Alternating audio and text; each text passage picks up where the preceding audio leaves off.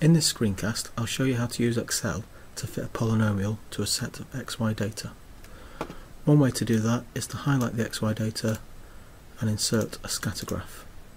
Then you can simply add a trend line, select polynomial, in this example we'll use a fourth order polynomial, display the equation and press close.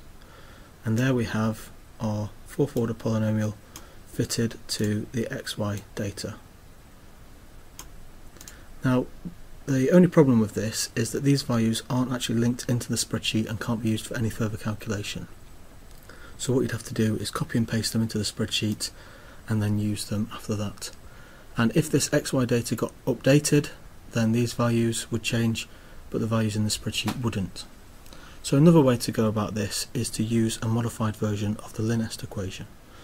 To do this we have to press equals then type linest open brackets, we highlight the y data, comma, highlight the x data, and we have raised this x data to um, a power of 1, 2, 3 and 4 because this is a fourth order polynomial. So we raise it to the power and we have to use curly brackets for this. Open the curly brackets 1, comma 2, comma 3, comma 4. Close the curly brackets, close the overall brackets and hit enter. Now because this is an array function, we have to highlight all the cells that the function is going to read its values out to, press F2 and then press Control Shift and Enter. And there we have the five coefficients that we need for the fourth order polynomial and you can see that those match the coefficients on the graph for the line of best fit.